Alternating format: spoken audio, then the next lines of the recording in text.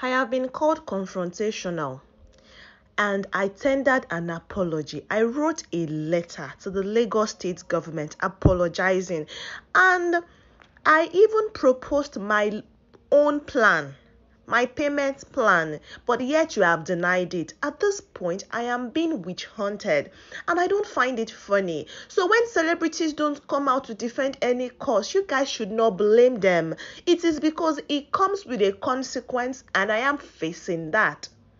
All these are the words of Iyabo Ojo after saying that the Lagos state government have slammed her with an 18 million naira personal tax debt. And she's saying she's tired of it. If you recall, guys, back in June, May, June of 2023, Iyabo Ojo came on social media to laugh at the Lagos, not necessarily laugh, but to call out the Lagos state government and the governor of Lagos state, Babajide Sanwo-Olu, saying how do they come up with outrageous personal income taxes that they send on a daily basis, even after she pays for different type of taxes for her businesses, her houses, and all of those things. She said that they are giving her seven days to pay up, but apparently, you know, since then the days have moved up they've gone back and forth concerning it but now she's saying they've given her a month to pay up 18 million naira according to Iyabo Ojo when they came for her that time she was like okay at this point people have not done anything for me as a government. I have single-handedly raised my kids and so many others, and I have over 30 people depending on me. And she says she's worked tirelessly to survive in this country without the support of the government, yet they sit in their office and they come up with different outrageous bills where nothing is working in this country. She said, Since you guys insist, though, and you can gladly come and close down my business, arrest me, jail me, or kill me, I don't care. We all will die one day, and I would never be afraid of what will eventually be everyone's faith. What I do not have, I cannot give. I have no fear. That was back in June. Now, Iyabo Ojo is giving us a feedback on that and she's letting us know how it is going. She's saying it is eating deep into her soul and she is tired.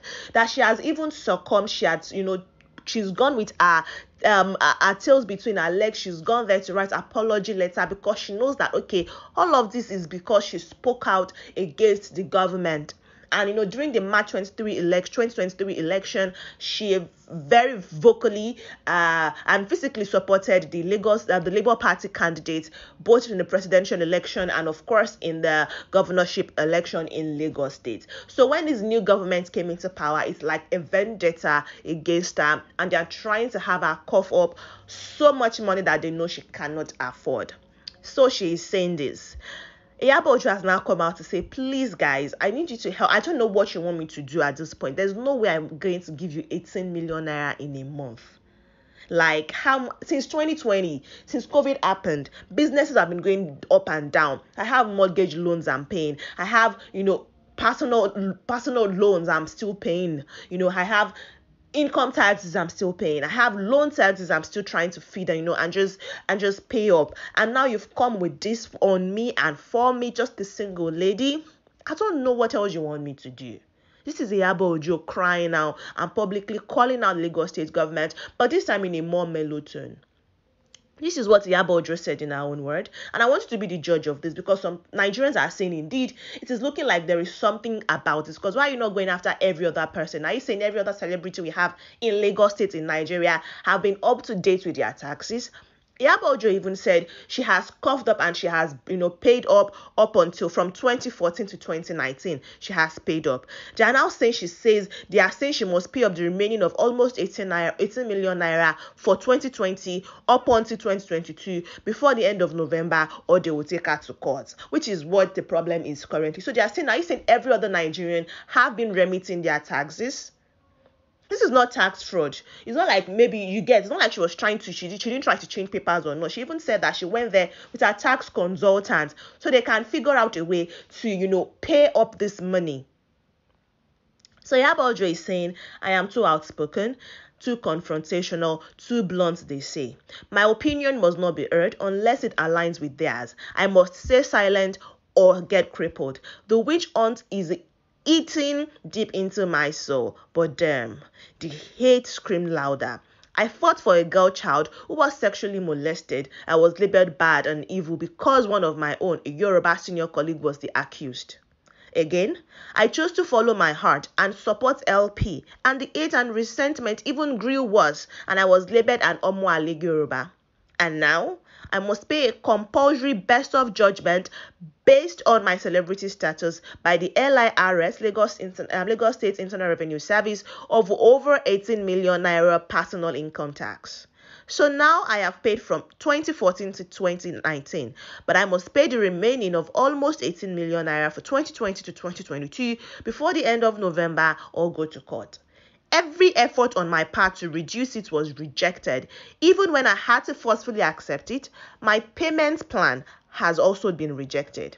I even had to write an apology letter, yet they refused to give me an easy payment plan. Now tell me if this is not witch hunting and I am supposed to stay silent. Since 2020, which was the COVID 19 lockdown season, who really made money? Tell me. If I had made so much, I wouldn't have bought my house on mortgage. Since 2020, my business has been going through ups and downs, yet I still constantly pay all my business tax, mortgage tax, loan tax, etc. I am the breadwinner over 30 people depending on me. Dollar rising almost every day. Fuel high, diesel high, everything expensive. But still, I was given three months to pay over 18 million naira. How? The money will pay. The bills are so overwhelming, even to save is a problem. What kind of business will you people have me do to make a profit of 18 million to pay you this period? Why is my payment plan being denied? Why?